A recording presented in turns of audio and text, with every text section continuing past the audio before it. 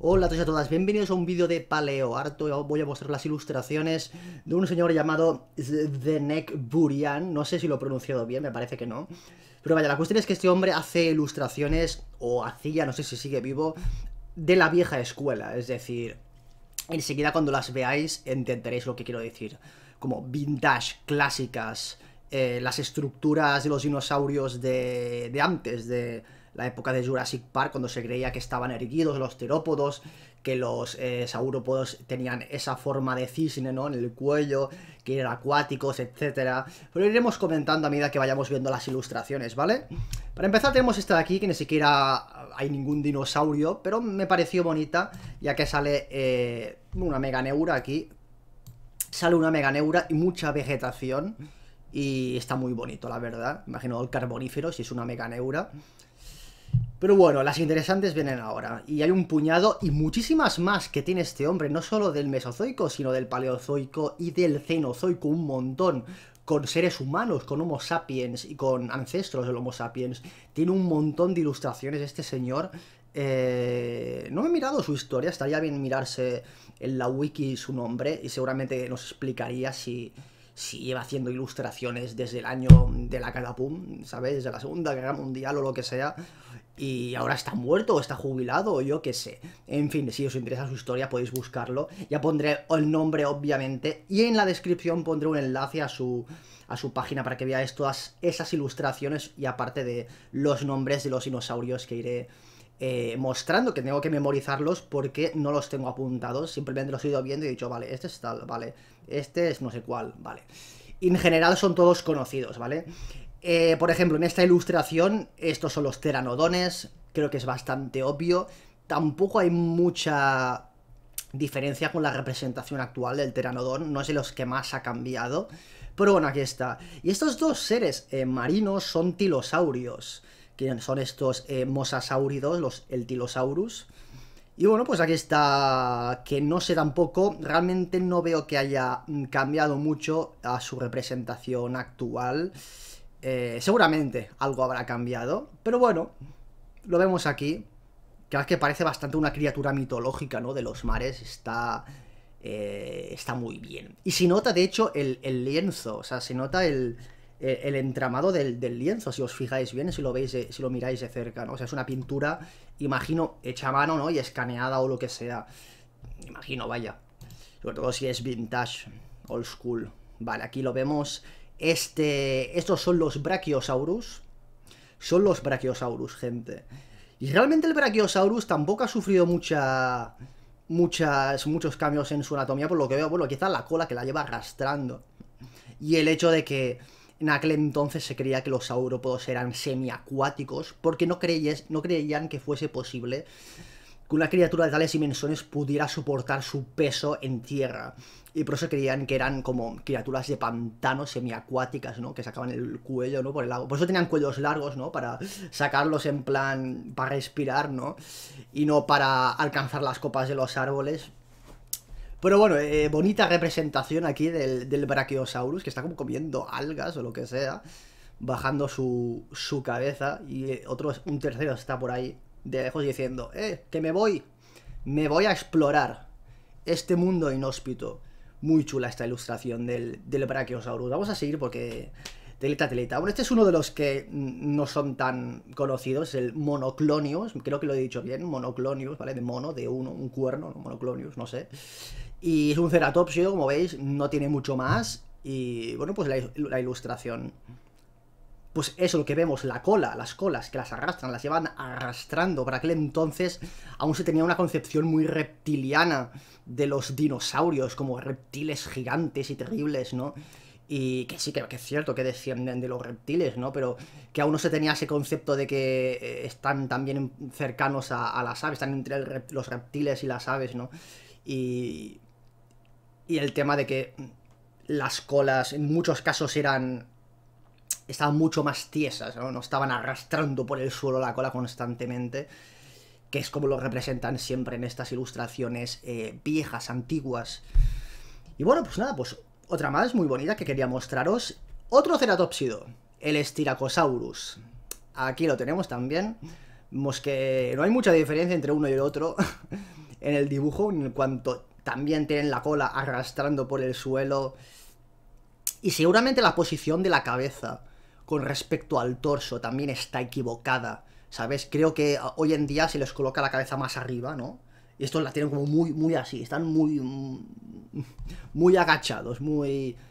No sé cómo explicarlo, pero lo, veis, ¿no? ¿Veis lo que os quiero decir? Que, el escudo básicamente no les sobrepasa del cuerpo, los lo tienen como...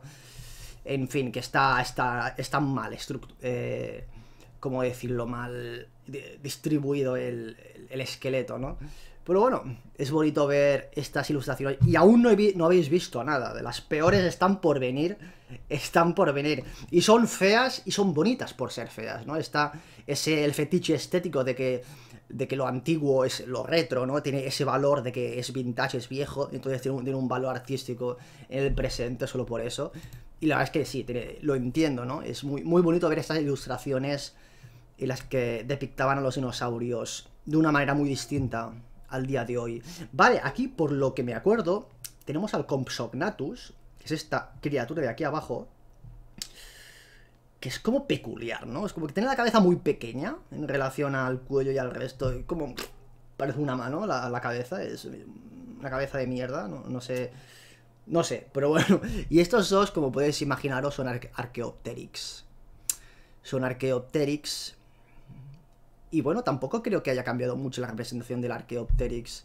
Seguramente habrá cambiado en detalles, pero como yo tampoco, mm, ya os digo, soy de grandes conocimientos, viéndolo así mm, de, un vistazo, tampoco veo muchas eh, cosas exageradas que sean... Tiene plumas, tiene plumas, eso, eso lo podemos decir, que tiene plumas. Así que... No veo ningún problema de momento, no sé.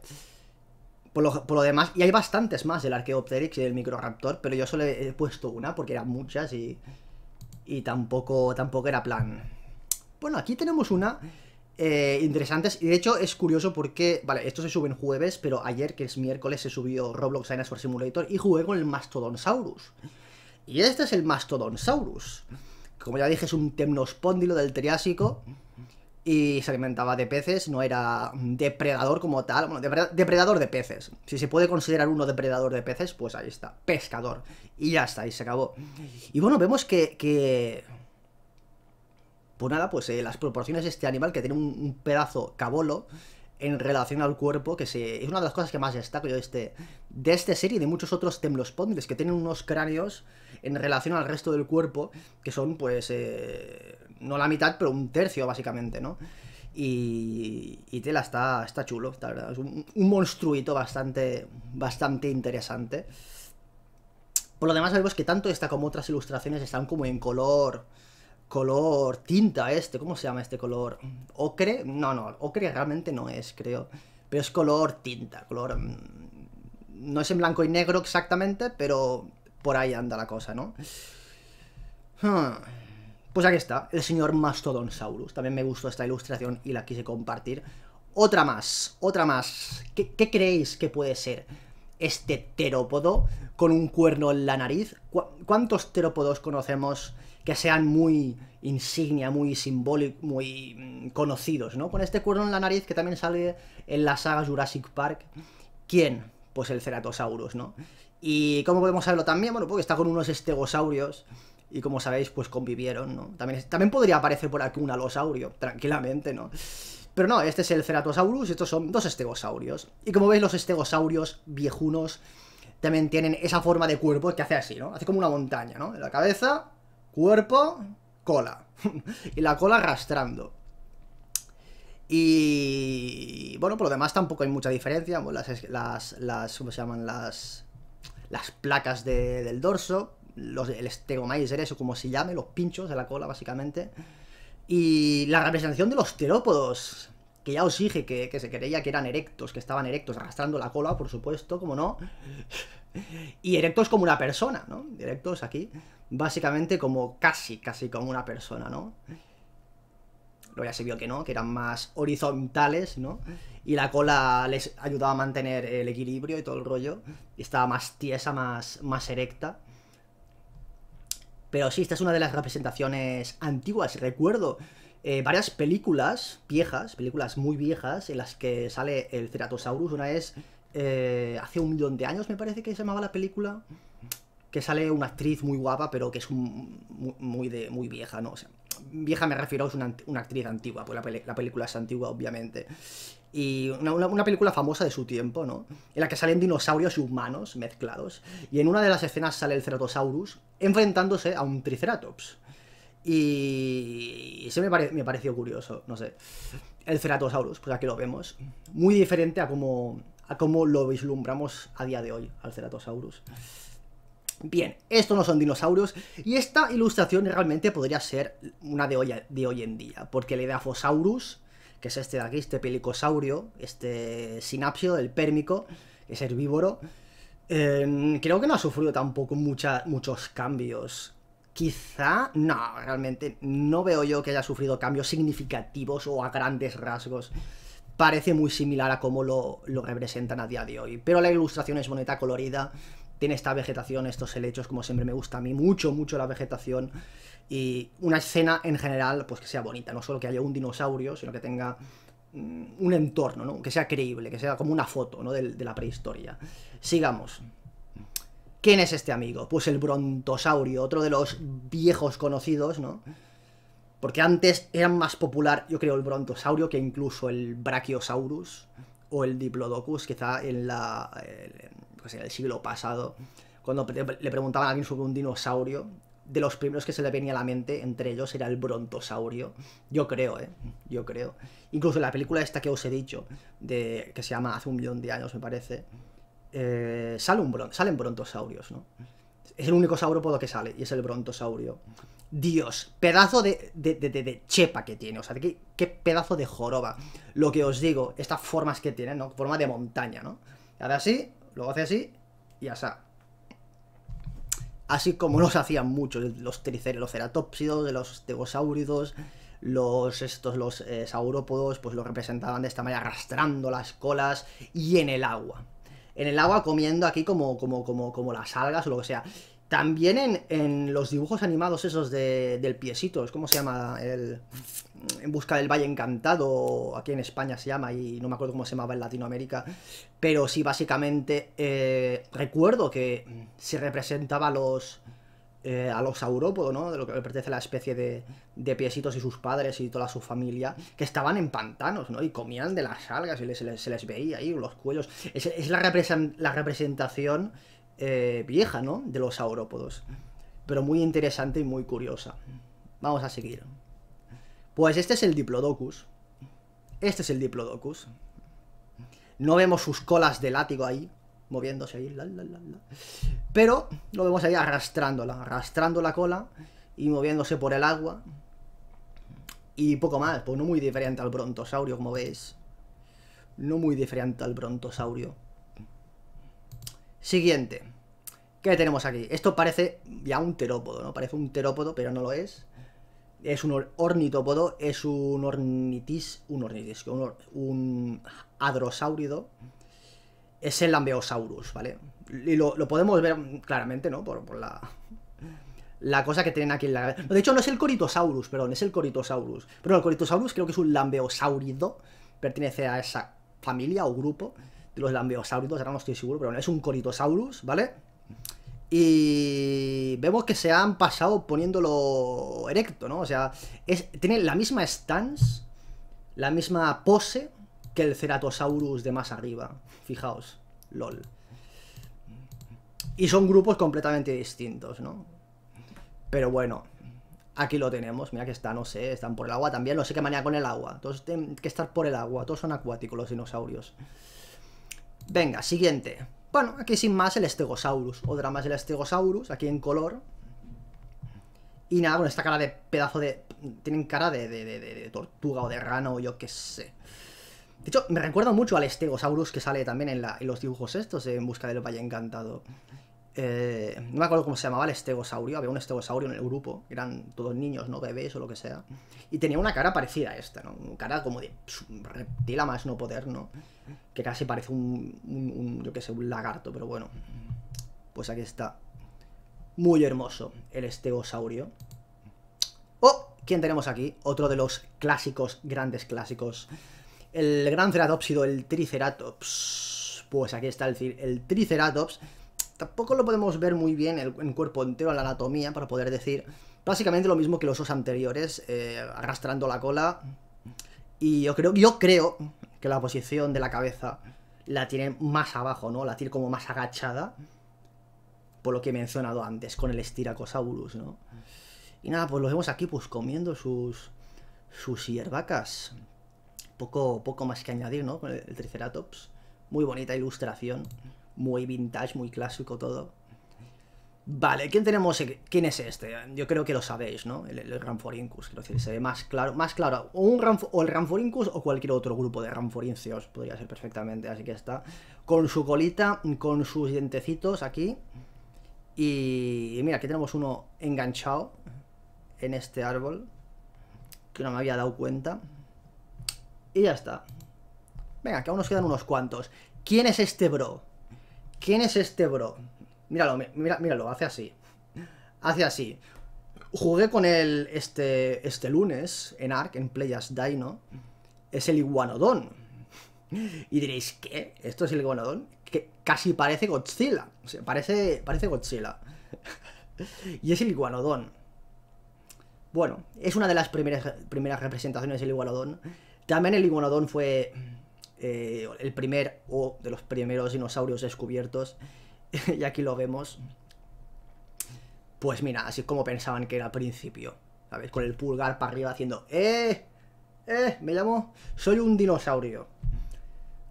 Y voy andando como una persona. Mira qué bien, mira qué bonito. Casi parece Godzilla el pobre. Pero bueno, mira, aquí está. Interesante, ¿no? Bastante interesante. Completamente diferente a cómo, a cómo lo, lo, vemos a, día de hoy, ¿no? Como su representación actual. No tiene nada que ver. Bien, ¿qué es esto de aquí? Pues mira, más ceratópsidos. Este es el protoceratops, me parece. Sí, me parece que es el protoceratops. Pero no le han puesto mucho detalle aquí en el cuerpo, lo que ven siendo las escamas. Simplemente lo han puesto como muy liso. Casi que parece que tenga cuerpo de, de anfibio o algo. Pero bueno, aquí está. El protoceratops. Y nada más. Nos quedan dos, nos quedan dos. Uh, ¿qué es esto? ¿Qué es esto? ¿Qué es esto? Ah, sí, sí, este era... Vale, es el Gorgosaurus. Este de aquí es el Gorgosaurus, ¿vale? Es el tiranosaurido Gorgosaurus. Y esto de aquí no es un Ankylosaurus. Tiene otro nombre y creo que va a ser el único del que no me voy a acordar del nombre. Tenía un nombre raro. Tenía un nombre raro este, este anquilosáurido, porque tiene porra. Tiene que ser un anquilosáurido, no puede ser un nodosáurido, que no tienen porra al final. Eh, pero vaya, que en la descripción en la lista de nombres, al final pues lo pondré, obviamente pues lo buscaré. Y ya está. Pero sí, mm, vemos que primero, el terópodo, el Gorosaurus, está, está haciendo poses extrañas. ¿no? Es que, ¿cómo, me como esto? ¿Cómo empiezo a, morderlo, no? Básicamente está pensando, a ver, ¿dónde está su punto débil? Está como, le quiere mirar debajo, ¿no? De la barriga, a ver si le encuentra algunas partes blandas, ¿no? Para, yo qué sé. Es una, foto muy extraña, muy, muy bizarra. Y, el rostro del... De la, que lo, quiero acercar. El rostro del, del anquilosaurido este. Como cara de... Eh, eh, eh, no me vas a comer porque soy duro por todas partes. Se arrastra, se arrastra mucho, ¿no? El, el. ¿Se pensaban que era una tortuga o que Lo veo muy, muy arrastrándose. Arrastrando la barriga por el suelo, ¿no? En plan... eh, como si fuera eso, una tortuga o, o otra, clase de lagarto, de reptil, de criatura reptadora. Bastante curioso, ¿no? Bastante curioso. Pero queda uno, creo que es el más interesante. No sé por qué ha quedado al final, pero aquí está. Vale, ¿quién es este amigo? Uh, esto, de esto no me había fijado. Vale, aquí tenemos el Tyrannosaurus, ¿vale? El Tyrannosaurus Rex. O sea, así como como pensaban que era en la antigüedad. que no parece que esté tan, tan, tan, tan erecto este. Será porque va como eh, a atacar a, este, a estos dos eh, herbívoros. Estos dos herbívoros son, eh, si, no, si no recuerdo mal, Tracodón se llamaba este adrosáurido, ¿vale? Era un adrosáurido este, este Tracodón, que también está ahí pues con las piernas con las piernas eh, arqueadas, ¿no? Que casi, no sé, también parece una persona que, pues, de pie. no hay mucha diferencia entre eso, la, postura de, estos terópodos y estos ornitópodos, es, peculiar. Y, ahí de fondo imagino que serán eso, pues algún tipo de ornitomímido, algún tipo de ornitomímido, imagino.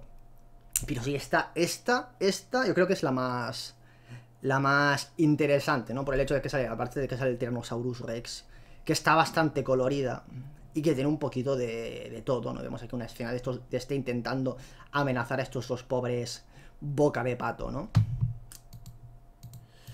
Vamos a echar un rápido vistazo a todas en general, pero sí, os digo que eh, hay también muchas y muy molonas de... Que tenía, ah, tenía que haber pillado una como mínimo, pero al final no lo he hecho, del Cenozoico, en plan dientes de sable, mamuts y cosas por el estilo, ¿vale?